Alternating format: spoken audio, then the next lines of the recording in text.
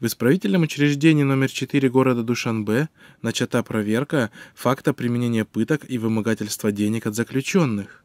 Об этом 26 марта в беседе с журналистом радио Азади заявил начальник Главного управления исполнения уголовных наказаний ГУИ УН Минюста РТ. Поводом для проверки послужило аудиообращение своего рода крика помощи заключенных, отбывающих наказание в данной колонии, которое было опубликовано несколькими днями ранее на странице Ислох.нет. В своем обращении заключенные рассказывают о всех ужасах, с которыми сталкиваются ежедневно в застенках режима Рахмона.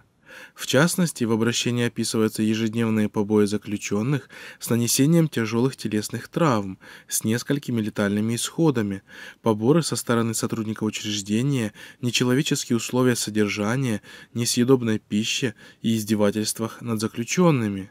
В качестве примера приводятся факты того, как некоторые сотрудники, а в частности начальник учреждения Хушвахт Зода Джамулиддин, его заместитель Мирзон Азаров Каромат, начальник режима Нуруллоев Рустам и оперативники Шарипов Бабаджон, старший лейтенант Абубакар, капитан Бихрус, капитан Михроб систематически измываются над заключенными, разжигают ненависть и рознь между ними и стравливают их друг против друга. В учреждении, рассчитанном на содержание 700-800 человек, находится 2500 заключенных. За использование бытовых электроприборов для разогрева еды или же для кипячения воды заключенных сдирают по 250-350 самони с каждого отряда. Yine bir payı özel